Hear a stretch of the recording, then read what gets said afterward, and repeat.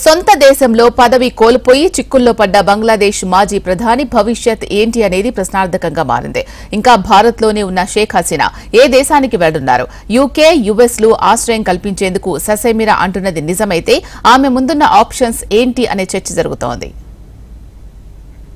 బంగ్లాదేశ్లో కోటా తెచ్చిన తంటాతో దేశం విడిచి భారత్లోకి చేరిన షేక్ హసీనా ఇప్పటికీ భారత్లోనే తలదాచుకుంటున్నారు. బ్రిటిష్ పార్లమెంట్లో సభ్యురాలైన తన సోదరుడితో కలిసి ఇండియాకు వచ్చిన హసీనా లండన్ వెళ్ళేందుకు దారులు వెతుక్కున్నారు. అయితే తన సోదరి చేసిన ప్రయత్నాలు ఫలించలేదు.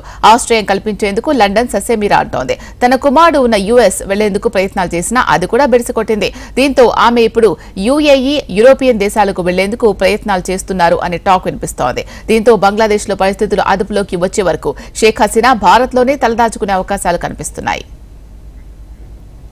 అయితే బంగ్లాదేశ్లో జరుగుతున్న పరిణామాలు తన తల్లిపై వస్తున్న ప్రచారంపై షేక్ హసీనా తనయుడు సజీబ్ వాజిద్ స్పందించారు. తన తల్లి బంగ్లాదేశ్ను వదిలి వెళ్ళిపోతుంది అని లండన్ శరణు కోరుతున్నారు అనే వార్తలు అవాస్తవం అని తెలిపారు. తమ పార్టీ బంగ్లాదేశ్ ప్రజల కోసమే పనిచేస్తుంది అన్న ఆయన ప్రజలు కష్టాల్లో ఉన్నప్పుడు వదిలి వెళ్ళబోమని స్పష్టం చేశారు.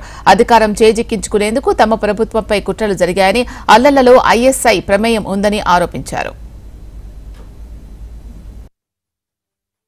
Police in Bangladesh right now. There is no one uh, enforcing law and order in Bangladesh right now. A few days she was uh, very upset, very despondent and, and depressed.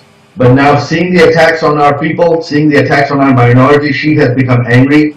And we are not going to just walk away and let Bangladesh fall into chaos. We as the largest political party in Bangladesh, we cannot do that. We have, we still have tens of millions of supporters. It is our job to carry out their mandate, and that is what we're going to do. And so we want quick restoration of democracy. So that, and I, I believe that Awami League still remains the most popular party in Bangladesh because of the last 15 years. No one wants to give up this development. No one wants to give up this security. And I believe if elections are held soon, Awami League will come back. We will restore law and order. We will keep. No, there are, uh, uh, there are, these are all rumors. There are absolutely no plans. My mother has not applied for asylum anywhere.